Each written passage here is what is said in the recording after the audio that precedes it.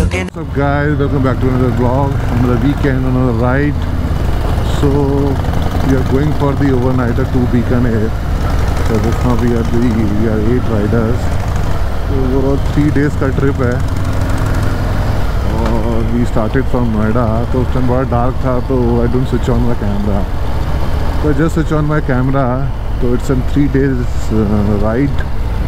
So अभी हम लोग ईपी ले रहे हैं फ्रॉम मानेसर तो यहाँ से the distance is almost 425 kilometer and the targeted time is we should reach by one one by one P M only तो लेट्स सी टाइम पे हिट करते हैं, नहीं करते हैं.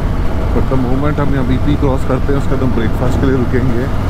Because we all are riding since five in the morning पाँच बजे निकल के पहले टी एन डी पे मिले टी एन डी के बाद then we ate the Manesar toll. उसके बाद then we start a ride तो so far so good I had we have to cover almost twenty five kilometers करते हैं cover तो पनवा है. तो I can see Sameer is ahead then Deepak then Prajat then N then me back is और पीछे सोनल जी हैं पीछे and we have Varun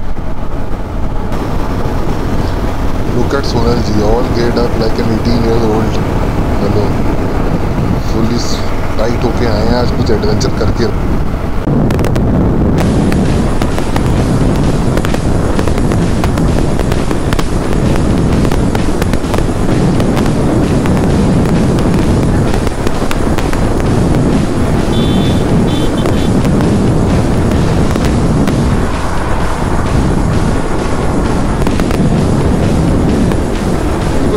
पड़ रही है सामने से बिल्कुल मस्त मूड आ गई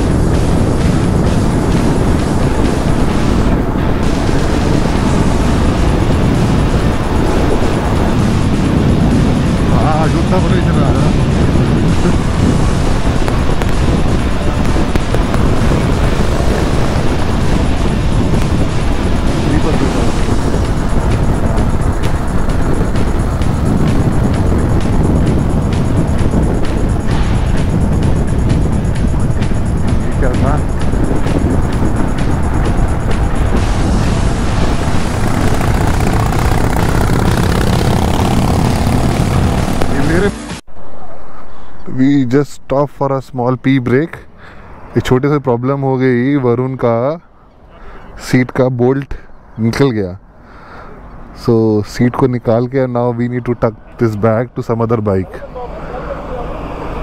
तो कुछ ना कुछ तो होता ही है। दिस इज़ वन थिंग ऐसा क्या है? एक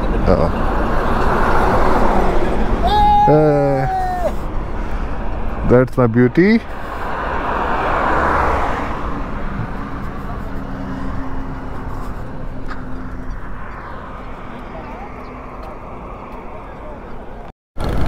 so that's the place for our breakfast the maharaja dhaba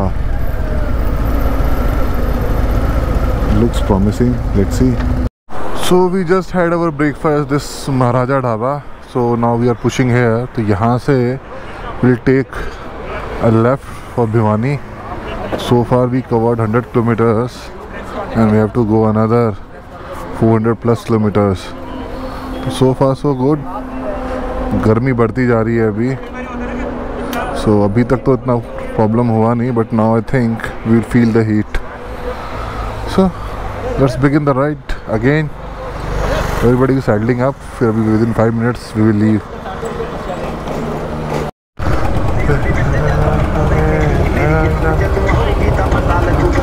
ਤੇਰੇ ਨਾਲ ਲਾਰੇ ਨਹੀਂ ਤੂੰ ਲਾਉਣ ਵਾਲੀਏ ਦਿਲ ਤੇਰਾ ਜਦ ਟੁੱਟੂਗਾ ਤਾਂ ਪਤਾ ਲੱਗੂਗਾ ਤੇਰੇ ਨਾਲ ਲਾਰੇ ਨਹੀਂ ਤੂੰ ਲਾਉਣ ਵਾਲੀਏ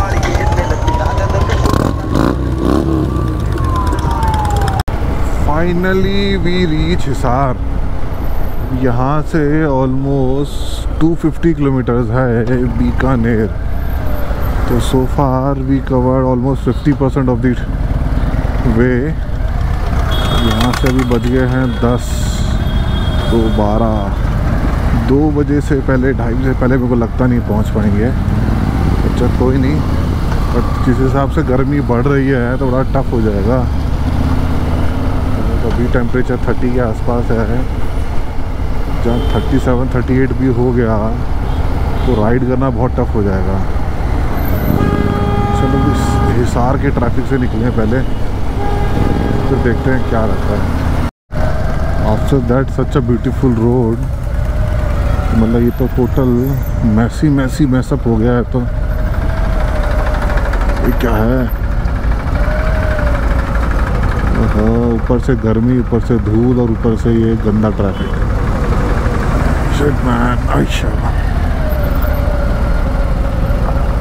बस यही चीज़ टफ हो जाती है हारले पे। हाँ, रुक जाओ भाई रुक जाओ। क्या है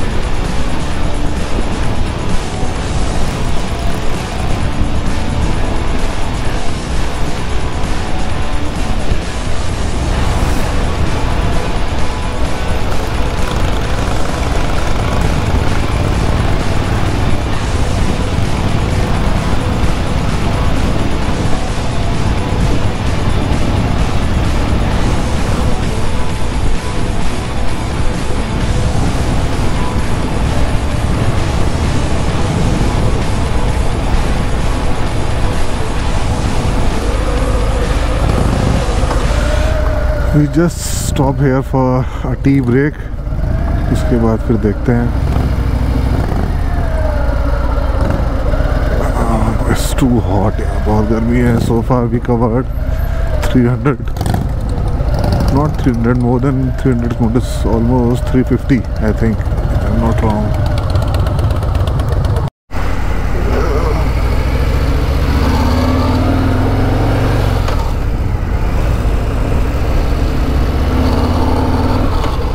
The dunes.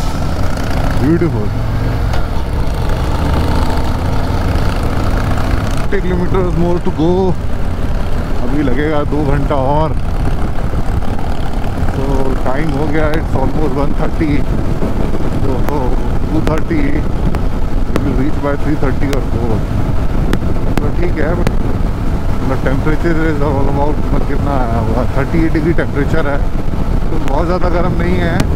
तो राइड करते समय इतनी गर्मी नहीं लगती तो we can ride in this temperature also बाकी रोड्स आर फैंटास्टिक मतलब इतनी स्मूथ रोड्स हैं मतलब क्या बताऊँ, बीच में मतलब मुश्किल से 500 मीटर का पैच खराब था बट राइट फ्रॉम दिल्ली से लेकर यहाँ तक the road is too good और मेरे ख्याल से अगर थोड़ा सा नवंबर के आसपास बंदा आएगा तो ही विल एन्जॉय थोड़ी सी गर्मी है तो इसलिए थोड़ा सा चैलेंजिंग है अदरवाइज़ तो the road is fantastic very good I look at this beautiful sky मतलब it's all clear sky look at this beautiful road. Well, I can see Samir which is about कितना आधा kilometre दूर होगा। So straight so clear road मतलब लग नहीं रहा कि राजस्थान में लोग चल रहे हैं। पीछे ड्यून्स थे। ड्यून्स के बाद इतनी ग्रीनरी और मतलब हमें.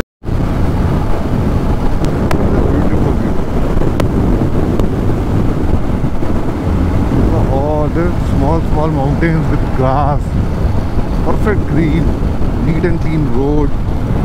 Wow.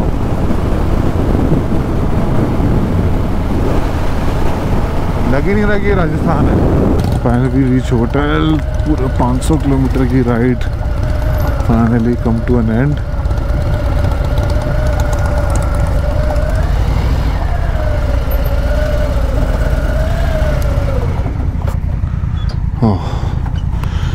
तो अभी फ्रेश व्रेश होते हैं, थोड़ा नहाते धोते हैं, पसीने में हो रखे हैं, उसके बाद फिर देखते हैं क्या करना है।